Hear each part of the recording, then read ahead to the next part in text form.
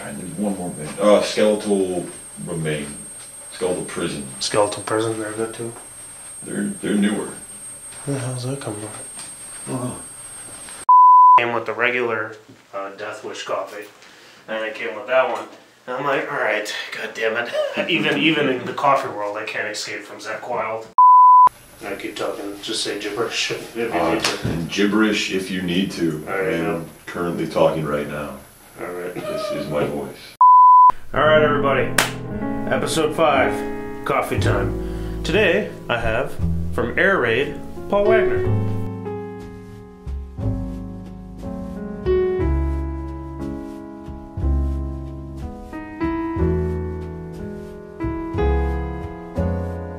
What's going on? Tim, guys, what's going on? It's been a while. It's been about, to my count, about a month now. You know, I've, I've been having a bunch of different projects happening, so I've just been spreading myself real thin. But here we are, episode five. Today, let's just do this right off the bat so I don't forget. Today we have Papa Nicholas Coffee, and that comes from Batavia, Illinois. And their slogan is From the Earth to the Cup, give the world great coffee at a great value. Now that's wholesome. Uh, they've been here for about 100 years, so I was in the aisle and I've never heard of this brand, and it's actually pretty good, you know. So I figure 100 years they kind of got their shit together. And we're both now sponsored by Papa Nicholas too. Yes. So we're gonna have Papa Nicholas guitars and Exactly. cabinets, and it's pretty fucking rad. It's pretty awesome. Papa Nicholas, the original Papa Nicholas, is actually a huge priest fan. You know, Yeah. so He roadied for them, I think. Exactly. So now that's what's happening now. But no, seriously, it's actually pretty good. It's a medium roast, and it's just dubbed Viking blend. So you can imagine. I saw this, and I'm like, oh, we have beards. We're kind of like Vikings a little, if you, you know, I don't know, if you take out the murdering and rape and stuff. Yeah. yeah. All right. So Papa Nicholas, what's going on, dude? Nothing, man. Just hanging out, drinking some coffee. Yeah. How the hell have you been? I feel like I haven't seen you in a Dude, billion it's years. been a while. We were just trying to figure out how long it's been. I, Yeah. I can't remember the last show that Vicious Attack and Air Raid played. It might have been at like End Zone in Aurora, like three, four years ago, in some Really? random winter show. Oh God, no! You might be totally right. God, the end zone isn't even around anymore, right? Or is it something else now? You know what? I was recently out in Aurora, and End Zone is still there. I haven't heard about anyone gigging there or playing shows, but it is it is still a building. I remember one of the promoters that used to like was based out of there was Dave. Uh, forgot what his last name was, but he uh, he was doing a bunch of shows and then he disappeared. I think when the management changed or took over or something. Mm-hmm. And uh, I guess they still kept their name, so I I don't know if that's good. Because the venue always smelled like a toilet, like the whole venue. That's part of the ambiance. Yeah. It's a shithole. And it was- fun to play. Yeah. But yeah, so that's probably was. I, I think I remember that bill too. It was uh, Dark Entropy, Air Raid, uh, Vicious Attack. There was one other band that I think dropped off like the day of due to Yeah. like inclement weather because it was snowing like a motherfucker. Yeah. And there was another round of snow scheduled for later that night. that's right. It was snowing. Yeah. I remember I was afraid to go home. I'm like, oh Jesus Christ, you know. There was a lot of snow on the ground, even for uh, like a Chicagoan, you know. Yeah. I was like, oh Jesus. But yeah, otherwise, I don't think anyone was there, right? Am, am I? That was it was a pretty quiet night. Yeah. A pretty Well- quiet night. Plagued by uh, by sound issues too, and a sound guy who um, maybe wasn't the best at his craft. yeah. And uh, yeah, so one of those. Well, that's fine. We've all been there. We we've all been there plenty of times, but yeah, I mean, uh, if you guys don't know, which you know, you might you might not, uh, we have played countless shows together with Vicious Attack and Air Raid, and uh, a lot of them in one of uh, one of Chicago's main spots for shows, uh, the Livewire Lounge. Mhm. You know, we've just played like. Honestly, you know, when I first started, I felt like you were on every single bill. For a while there, we yeah we kept meeting up with each other. Yeah. And, you know, I haven't been in the band as long as the other guys, you know. But, like, up here, you can't see it when I'm pointing at it. There's a bunch of show posters, and we were able to point at least one date out, you know, with air raid on it from, like, ten years ago or something. Yeah, that like must have been 2007, 2008 with our original singer, original guitarist. Like that was a while ago. Know, I'm glad to have you. Uh, You know, you were one of you were definitely one of the first people when I when I was creating this. I'm like, you know what? I, you know, when I started this, and this is gonna sound bad, but I wanted to put people that I actually liked on this show. you know, instead of pandering to everybody. So I'm like, all right, well, who do I like? And you guys were definitely Aw. in the, the the short list. You know, That's I'm fine. like, I, I want to tell people about actual Chicago bands, you know.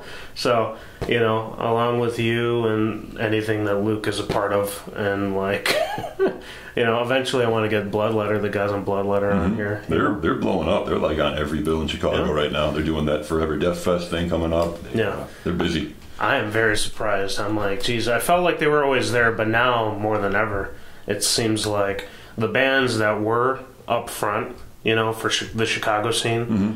Have now taken the back seat, and like the bands that were right there behind it are now pushing, Yeah. it, you know, which is crazy, you know, because it's like, you know, I always thought Bloodletter was awesome, but now they're literally killing it, Mm-hmm. you know. You know, when I had Luke on the last time, he was telling me all these things that he's going to be doing. I'm like, Jesus Christ, how are you doing all this? You know, he's one of the most busiest men in metal. I I don't know how those dudes can juggle two, three, four, five bands. Like Yeah. I'm just in the one, and I feel like I don't have the time or patience or or financial stability to to, to do it. And I see these dudes who are like doubling doubling up and tripling up on bands. I don't know how they how they Yeah. keep up. I'm in two bands, and I find it almost impossible. Yeah. let's go through your musical history. You know, like let's talk about any bands that you've been in. How did you get to the point where you are now? I uh I've pretty much just been in the one band the whole time. Um, our our drummer Matt and I we went to high school together, and uh, we started jamming when we were you know that 16, 17 year old range, and uh, and just kind of took it from there. Met with our bass player, um, and Air Raid was formed pretty shortly after that. We've been around in some in some way, shape, or form since like 2002, 2003. Um, but pretty much just been holding it out with Air Raid the entire time. Okay, well, that's cool. And for for everybody else, uh, who who's uh, you you threw out some names out there. Who's Matt in your band? Matthew Krychek is our, our drummer extraordinaire. Um, uh, John Ricks is our, our bass player. Um, we have Joe Keelahan also playing guitar, and then there's myself. We are we are a four piece nowadays. All right. Yeah, you know, I uh, I think I've only ever seen you guys as a four piece. Yeah, yeah. Yeah. Our um, much like the uh, the poster up on the wall, we uh, we were a five piece for a, a brief amount of time, with our drummer's younger brother uh, covering vocal duties, and a, a different guitarist, a gentleman named Rob, who is who is no longer in the band. Um, our singer Peter, our original singer Peter, um, went off to college, didn't have time for the band, really wasn't into it that much. Uh, so he left. We were looking for a vocalist for like a year or two, It just wasn't working out. Um, our Mhm. original guitarist Rob had some issues, so he left. We played as a three piece for like, I don't know, about a year and a half, two years, um, with John and myself uh, covering vocal duties. we just couldn't find a vocalist. It just wasn't working out. We auditioned some guys, and it It sucks, man. Dude. It's so difficult. yeah, we auditioned some dudes and like it just it didn't work out. And much like a lot of other bands, we were just like, fuck it, someone's got to do it. Might as well Right. be us. So I almost did that for us. Uh, Vicious Attack, of what felt like we were at that pinnacle. Like, oh crap, we're playing all these shows and, you know, we're, we're, we're super busy, you know.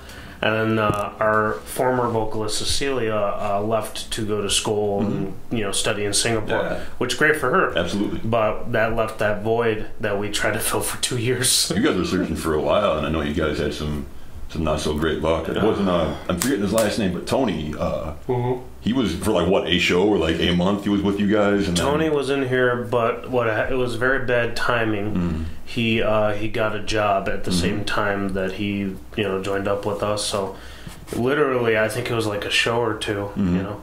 But even before that, we, we had several different people come through and just learn our learn some of the songs, and then you know just not show up anymore. Or, it, it, it's brutal out there. And then the one that we thought was going to stick is, you know, uh, he uh, was too like spacey. You know, he he couldn't get his shit together basically.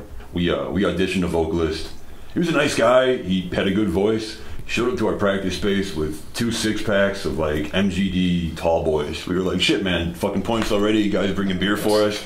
This guy proceeded to drink every one of those beers in about an hour and a half. Just fucking bam, bam, bam, Jesus them down. Christ. Yeah. So by the end of the uh, end of the audition, he wasn't in the best of ways.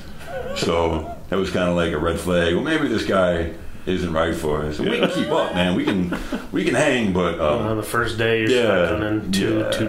What would you say? Twelve. tall packs? boys, yeah, fucking Jesus. not the best first impression. Wherever you are, dude, you know, I hope you're doing good. Maybe you got some help, but uh, Oh, it didn't work out. So, all right, you know, you, you you explained air raid to us, you know, a little bit. Um, what got you into this style? Like, what would you say air raid is? The style of music. We we describe ourselves as being thrash death metal. Um, Thrash we're right metal. in that that happy medium between the thrash and the death metal. Yeah, I, I think we we pretty much describe ourselves Yeah. the same way. Yeah. Um, I- you know, you guys, uh, you guys definitely are in that mold. But I always like there, there. You have like a lot of, like, I don't, I don't know really what you know. There's so many different genres of metal. Oh yeah, it's hard to keep up. So I always saw I'm like, yeah, definitely like a thrash death or maybe like an extreme kind of like feel, you know. If you've if you've never seen them, there's plenty of uh, YouTube clip uh, clips on you know on there that you could check out. I was struggling to find a YouTube page for you guys. The best of my knowledge, we do not currently have one. We did have one for a while, and it either was taken down we went to delete something and it just fucking shit on itself. Yeah. um, so I don't think we currently have a uh, YouTube page, but we're out there on all the other Yeah. platforms, your Facebooks and your Bandcamps and your Spotify's, and um, I'm trying to think if there's any like good live videos floating around the internet. I know there are. There are Um, some like when the CMA was a thing, they took a pretty good Yeah, yeah. you At the uh, at exit for that like heavy holidays or whatever the hell it was. Yeah. So yeah, although there's not a YouTube video or YouTube page per se, you can still check them out. Just type in Air Raid Chicago band, and then you'll you'll get a bunch of their videos. So, all right, so you're Chicago, you know, death thrash band. Uh, what what got you into this style of music? I think, much like everybody else, very stereotypically, I was a grumpy, angsty kid, and I uh, I heard grumpy, angsty music with distorted guitars and raspy vocals and up-tempo drums, and I was like, "Oh, that's fucking awesome!" Oh, And, sweet. yeah, and you know, I think it's pretty uh, pretty stereotypical that you know you. You start listening to the, your. I mean, I'm a child of the the '90s and early 2000s. So, like, when I was going into high school, it was 2000. So that's you know your Korns and your your Limp Bizkits Oh, are very yeah. prominent. Your System of a Down, Slipknot, uh, all of which I listened to, and then your your tastes kind of expand, and that was sort of a gateway into the Black Sabbath and Metallica and, and the Megadeth and Slayer, and then you Mm-hmm. Realize, well, man, like.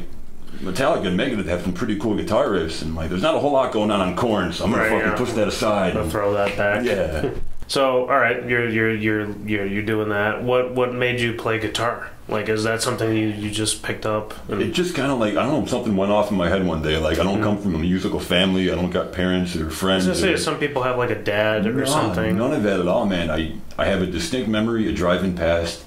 I think it was like a music go round when I was probably like 12 or 13 and like seeing guitars in the window and just kind Mm-hmm. of thinking like, oh shit, man, I should like, I should play guitar. Yeah, like oh, that's pretty cool. Yeah, that looks pretty. That looks pretty sweet. I think I wanted to play drums, but I knew like that wasn't gonna fly at the house. So like guitar was that was the next best Mm-hmm. This is an thing. easier Yeah. option. And looking back on it, I don't think I'm coordinated enough to play Yeah. drums. Like this is, this is easy. Yeah. I can do this. So, all right, you just picked it up, and I assumed, like you said, you were learning like Metallica. Yeah, just- you know your your Nirvana riffs, Yeah. and your your Led Zeppelin and Black Sabbath, and This is the early '90s, whatever 2000s. So the internet is a factor, but also at this time, I think YouTube is like a baby. You know, it just first come out, so maybe people are just barely putting covers up there. So yeah, it's either you're looking at really like you know broken tabs, Mhm. or you're just looking at videos and trying to pick up on what people are doing. Yeah, yeah. you know? I mean we uh we didn't have like a computer or the internet uh, at the house when I was growing up,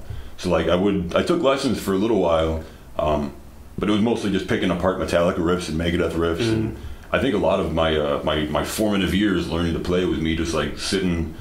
You know, pressing pause and play and pause and play on the stereo, trying to pick out riffs and not really doing a great job of it, but being able to kind of kind of get closer in the ballpark of where the riff is supposed to be. Definitely playing them wrong most of the time, but you know, Yeah, developing the the necessary The technique. chops. Yeah, exactly. Okay, so you're playing you're playing guitar. Eventually, you start air raid, and you've got already kind of the idea of the music that you want to play.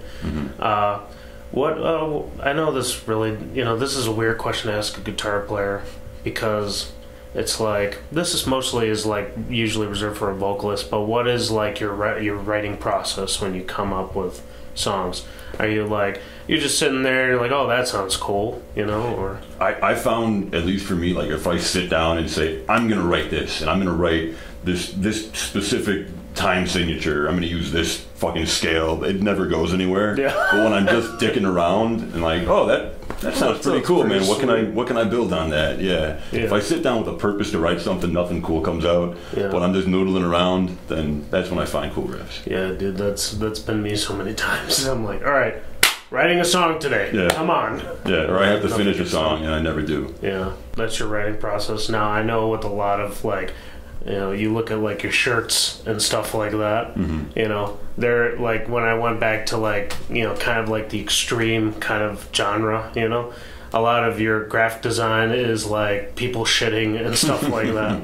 You know, so I'm like, where, where, where does that come from? It's just like you guys are just trying to be like uh, funny, you know, So- like it's just comedy based kind of, or I guess like our style is it's definitely gory and like brutal, but with that that clever sense of humor to it. relief. We don't want to be like straight up goofy and silly, but we don't want to be straight up like tough guy, like we're gonna kill you because that's pretty fucking lame too. exactly. So a little sense of humor doesn't hurt. No, it's awesome, dude. I, I I love that. You know, when when you have a band that takes themselves way too seriously, that's No, no, no. you're like, oh, God, I don't want to hang out with We're you. out there pretending to be rock stars, man. There ain't nothing serious about that. You can you can take what you do seriously, but you know have a sense of humor about it. Yeah, there's a way to keep that balance. It's Yeah. like, hey, you know what? You know, I'm just, you know, that that feeling immediately coming off your stage at the stage, and you're like, oh, okay, I was, you know, I'm the same guy that I was there. You know, there's no illusion that we're rock stars. You We're playing local bars for 15 people on a Yeah. Wednesday night, and you know, it's we're not rock stars, man. We're, just, Exactly. we're just playing some music, making some art, and hanging out. I still get uh, like a little embarrassed when someone will come up to me and tell me how awesome we were, and be like, oh, we. We, we messed up a lot. Dude, I can't handle compliments. I fucking I hate it. I'm really, really, really, really picky about like our live performances and our sets, and I pick every little thing apart. So when someone tells me, "Hey, good set, man," and I'm like, "Well, no, we like bombed the shit out of that last song, and like, we were way late on that intro," and I, I can't handle the compliments, man. I don't know how to take them. Yeah, yeah. That's one of those things. It's you never really get used to, and if you do get used to it, you're probably a douchebag. Uh, yeah, but uh, that, that- you know, I always, you know, I always saw like whether it be the stickers or like the T-shirts or even uh, I don't know if it's your last EP was something awful. Um, even with the the album cover is like you guys are you know poking fun a little bit. It's just like. Uh, Well, that's the joke about the name of that album, Something Awful, is like, well, what do we name the album? Well, it has to be something awful. It has to be, you know, something really grotesque and really violent, or else it doesn't fit in. But it's just, we couldn't come up with a name, so, well, it's got to be something awful. Yeah, dude, I, I love that man. It's like you guys, you know, definitely have a sense of humor. Oh, you have to. And so, all right, when was uh, when was something awful recorded? That was recorded in uh, spring of, I want to say, 2016, 2015, Twenty. Okay. 2016. Let's call it 2016. Okay. So, uh, do you guys have any plans to go back into the studio? We are overdue for a new release. Uh, we are currently working on songs. We have about five or six ready to go, and then hopefully, uh, in the near future, sooner rather than later, we'll get back in the studio. so, you guys thinking full length or like an EP? kind of hard to tell. Yeah. I don't know, man. In, in this day and age, doing like a 12 song full length album is pretty fucking stupid. Um, Yeah. Less is more. So in that that five to like eight range, five to eight tracks is is perfect. Our last album had I think eight tracks on it, and that's that's more than enough. Yeah, it definitely is. Like, you know, you hear about it a lot now because of you know where like streaming is now. People rip through that shit so quickly, and your good is forgotten, basically. So it's like, how do you keep people entertained? You know, and last year, uh, my other band, Central Disorder, uh, recorded an album, and we're like, all right, the that is done. but how do we make sure that this isn't forgotten in a fucking week? Mm-hmm. You know, so it's like, all right, well, you know, maybe we we, we keep releasing videos or we keep like going on all these uh, podcasts and whatnot. It's it's brutal out there Yeah, it is. The scene is incredibly oversaturated. Luckily, at least around here, it's saturated with a lot of talent, and there's a lot of really cool bands. But there are so many fucking bands. It's it's daunting. It's hard to keep track of, of who's playing when and who's releasing what and when. Yeah, and so many, so many bands and so many bad bands that like, you know, I was talking about Dark Entropy. That was my first band. We were playing primarily in the Burbs, and man, does the Burbs have just a surplus of the worst bands ever. Yeah, there's some stinkers out there, and luckily the stinkers disappear after a while. The the talent sticks around. At Yeah. least in our experience, um, the talent sticks around. The uh, the shit bands that don't know how to play their instruments and don't know how to write songs and just kind of show up and act like assholes. Right. They disappear after a while. Yeah, or go through so many different, you know, like, uh, you know, bumps in the roads and all that. But, you know, I joined Vicious Attack, and just like that, like, I went from hating playing music to loving it, you know, because now we get to share the stage with gentlemen as yourself, you know, Aw. very talented people, you know. So with with eventually, you guys are thinking about doing an EP, you know. Um, do you guys ever do like any kind of like collaborations or anything like that? Would you ever entertain that? I mean, we'd love to do a split with someone if we could find the right band to do it with. Um, we've been on a couple like compilations, you know, like one track into a compilation with a bunch of other bands. Um, we definitely would do that again. But yeah, Mhm. nothing's out of the uh, nothing's out of the question.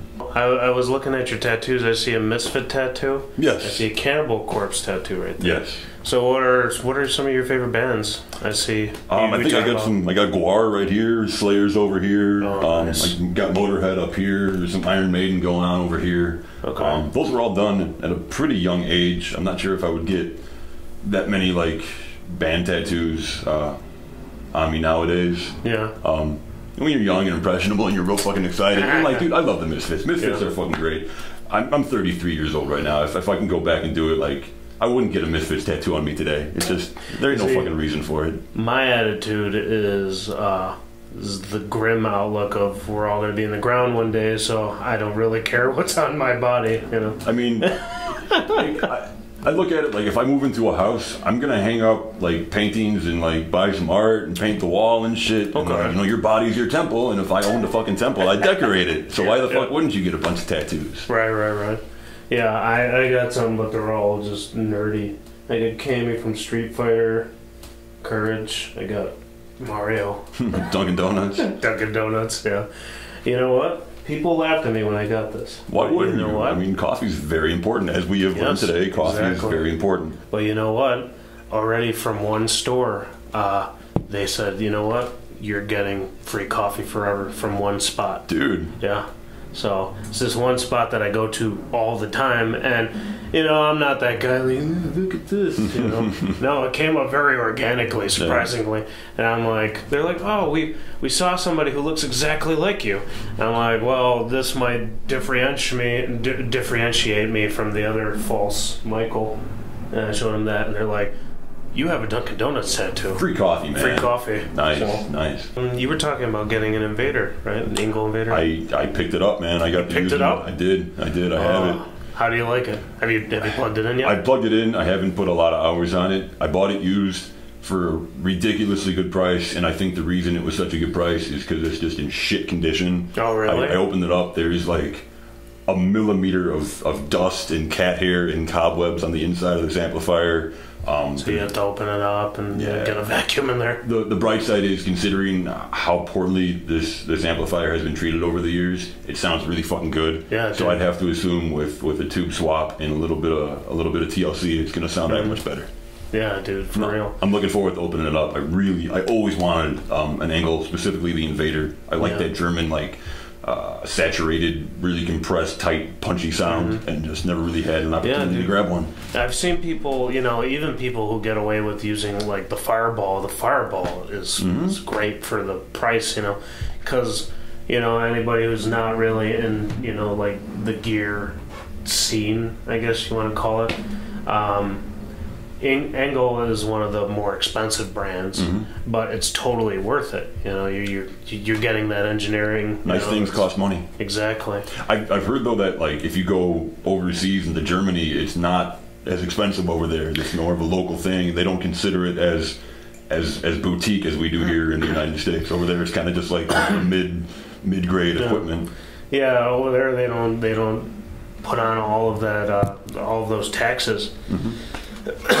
Yeah, but like with the Engl, we've got the fireball, and then next level is definitely like your savage and your powerball, Mhm. and then after that. You get into your like your signature series, like Rick, Ricky, what is Ritchie Blackmore? Blackmore, yeah. one, you know. The artist And then- edition and the yeah.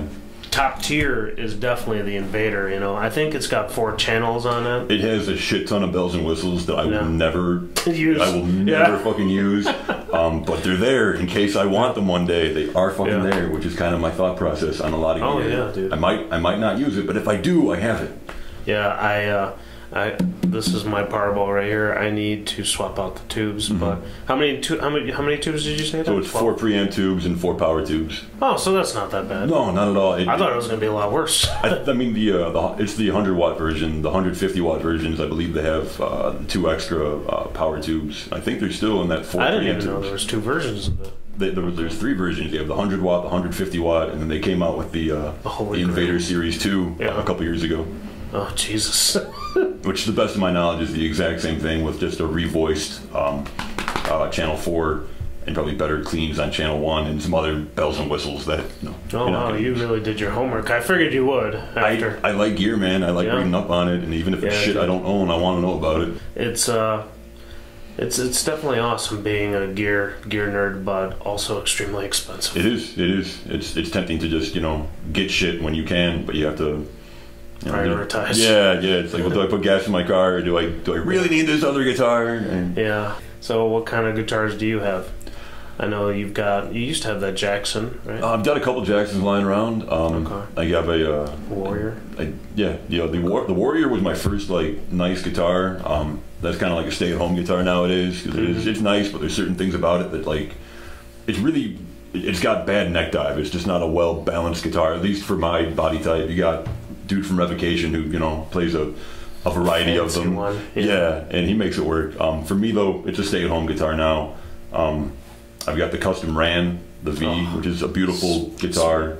Feels perfect. Um, I've been eyeing one of those for so long. they're they're really nice guitars, man. It was a bitch getting it here from Poland, but Yeah. uh, but it, it's it was worth it. Totally worth it. Yeah, I love that thing.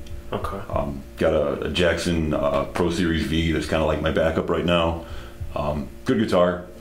Um, I modified it pretty heavily. Uh, So you like that Jackson feel then?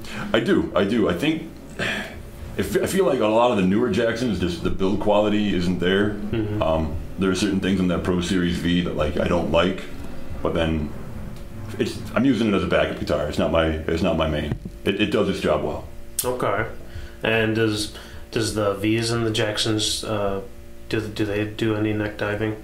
No, the V's are really well balanced. Um, Okay, that's I don't know having that like the two fins over here and the headstock up there. They're I don't when- find When, when you said the warrior, I'm like, well, of course, you know the the warriors, the the, the neck dive, but I also knew the Kellys. You know, that's the explorer shape, right? yeah, Every Kelly I've ever had or, or played has this similar neck dive, and I'm like, all right, well, I know the soloist wouldn't because that's definitely like a more well balanced. I didn't know about the V's, so hmm that's pretty sweet. I've only ever had one Jackson, and it was uh, like the Randy Rhoads style V, the offset yeah, V the Rhoads V. with like a reverse headstock, and it was pretty sweet. I, uh, I I have a couple of guitars that like I bought with the intention of, of modifying them and and putting them into rotation, and I will one day. It just Yeah. it never happens, man. I got this a decent Pro Series uh, BC Rich Ironbird. Um, real nice guitar, single pickup, single volume knob, original Floyd on it. I'm gonna swap the pickups out, um, do a little work on the bridge. You see that BC Rich is coming out with the whole new line, I'm excited about that. dude. I can't believe it. I'm like, they finally got their shit together. Holy I, crap! I've had a love hate relationship with Yeah. BC Rich. Sometimes I, I really like them, and I pick one up, and I'm like, this thing plays like shit. Yeah. My uh, our old guitarist had Mockingbird, beautiful looking guitar, but it just it felt like shit. I never, Yeah. I don't know, I just I didn't like playing it. But the uh, the Ironbird I picked up, it feels real nice, nice neck, um, good body weight, really comfortable to play on. I'm Yeah. looking forward to putting that one in the rotation. Yeah, this new series they like they did all the research. They're like, this is what is popular right now. Like they got Mm-hmm. Listening to your customers, Yeah, oh my god. yeah. They got like poplar bursts, and they still like you could still tell it's a BC Rich because they'll still do the what, what is that binding that's like kind They, of they use the uh, Rainbow. it's not mother of pearl, Ab- it's Ab- uh, Abaddon? abalone. Abalone. Abalone. There it is. Yeah. They're still using that. I think more than like most other brands. There's you know when when you think of that binding, you always think BC Rich or like sometimes ESP. Mm-hmm. You know. But mostly BC Rich, so I'm like, all right. Well, they still kept a little, Yeah. a little bit of what they are for that, but they look gorgeous, and Mm-hmm. they're bringing back uh, what is the uh, the stealth? They're bringing back the The, the Chuck Schuldiner. Yeah. Yeah. yeah.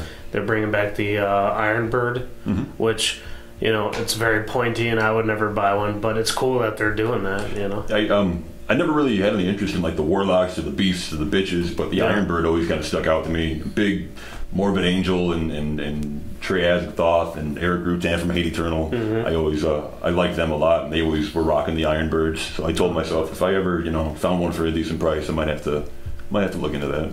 oh yeah, dude, they are really gorgeous. I'm I'm interested. You know, but Mm-hmm. No, it'd be cool to see what they come out with. Yeah. Uh, do you have any favorite show moments? Favorite show moments, man. Um, Or you could start with the with the least favorite. It's up to you. There's plenty of those too. Um, coolest thing for me, we opened for um, uh, Hate Eternal and Goatwhore at Reggie's. And I mean that's just Ooh. cool, fucking Yeah. being able to like warm up an audience for fucking Erik Rutan, you know. Dude, awesome. Big influence. You walk in to do fucking unload your gear, and there's like one of your favorite guitar players Yeah. like doing a sound check on stage, just like, hey, what's up, man? Welcome to I Chicago. love, I love that. But uh, being able to go in that like balcony area above the stage at Reggie's and kind of just like look down and watch Rutan like do his thing and what he does, really cool, man. Big learning, big learning moment because you know he has a really specific technique and like it was that was a cool one. That that's kind of burned in the brain. All right. Okay, man. Well, you got uh, you got any least favorites? Oh man, um, I mean, shitty performances and like technical misfires always kind of make for a bad show. We've, Yeah. we've all had those. Um, I had a, a cabinet with a corroded input jack on it, and it just crapped out in like the middle of a song. Yeah, Yeah. Um, that wasn't fun. You got to find that like sweet spot where you jiggle the cable and make it work. And It's the worst feeling is being like, oh well, I'm just screwed. Yeah, you know? I yeah. got I got no other options. Yeah, yeah. Um, worst for me though uh, was at Reggie's. I think it was our first time playing there. Uh, local support for Grave, so that's fucking cool shit. 'cause Nice. Grave. Um, Grave. Our like second or third song into the set, I threw my back out, fucking moving around. Oh. Dude, it sucked so bad. I uh, I had just I used to have long hair and uh, you know male pattern baldness was kicking in, and I was getting older, so I shaved the fucking thing. It was my first show without hair, and I think I was trying to like overcompensate for the Yeah. headbanging, like because you know when you have hair, you headbang and Right. hair goes everywhere, and now I'm a bald guy and I don't know how to fucking move, and I just. I moved the wrong way and just popped something in the middle of my back, and it just sucked. man. Jesus, man, Yeah, that wasn't that fun. sucks. There's definitely footage of that one floating around YouTube somewhere. Really? Where you can see I'm like I'm all frozen up and I'm trying to like headbang, and you can just see I'm not enjoying myself Yeah. at all. You're in agonizing pain. Yeah, yeah, yeah. Oh, jeez. Yeah, Just that's a like, uh, bad moment. That wasn't fun. Yeah. Yeah, that's one of those things. It's like you can never escape it. No matter how much you prepare, you're gonna have technical failures. Yeah. You're gonna have some dude in the you know behind the board who doesn't care about your band. Mm-hmm. That's why I, I try very hard to just you know make sure everybody's cool with me. Mm-hmm. you know, I go to the sound guy, I talk to him a little bit. Be respectful of the sound guy. That is their fucking house. Absolutely. Once they've proven that they're a dipshit, then whatever. But Mm-hmm. we've gotten lucky that most of the sound people we've worked with are really fucking pleasant and knowledgeable. Every once in a while, you get a dipshit who's kind of just there and uh, not doing a good job. We had one guy. Uh, he didn't have enough microphones, so we were looking for him. And he was hiding under a table watching like YouTube videos, like way in the back of the bar. This is at uh, at Smiler Coogan's. And he's underneath the table watching YouTube videos. Finally track him down, like, hey buddy, we need an extra microphone on stage. And like 20 minutes later, he walks up with a kick drum mic that he kind of just puts in the mic stand and wraps a little duct tape on that fucking thing. And, Jesus Christ, yeah, man. so sound guy, sound guy. Sound guy. Yeah. Yeah, and then we were talking about Cobra's house. Uh, Cobra and Reggie's probably have the best The crew, exact opposite. Yeah, Yeah. they're so fucking good. which is crazy. They're Uh, on even- top of it. Even Livewire, um, Spencer Yeah. Morris always does a bang up fucking job making us sound better than we are. All right, so you guys are possibly thinking about writing a new EP. I mean, it's definitely going to happen gonna sooner happen. rather than later. Yeah. okay. And uh, you got anything else going on right now that you want to plug? Um, we got a Halloween show coming up uh, uh, October 26th at uh, at the Fallout, the, the world famous Fallout. Nice. Um, that'll be fun. It's a stacked fucking bill um, uh, with Inner Decay, Advorsa, uh, Sable Bedlam, and uh, Skeletal Prison. Dude, that Um, that's such a cool bill. That's such a cool amazing bill. hmm Yeah, I definitely have to. I think I, I looked at my calendar that day, and I think I have it open, so I'm gonna come check you guys. out. Awesome, awesome. It's it's been too long. And it's a Halloween show too, so that's always fun. There's there will be assholes dressed in costume, and everyone's having a good Oh, time. gonna- And Yeah, everybody's gonna be throwing back some cheap beer. It's oh, absolutely, be awesome. yeah. No, it should be fun.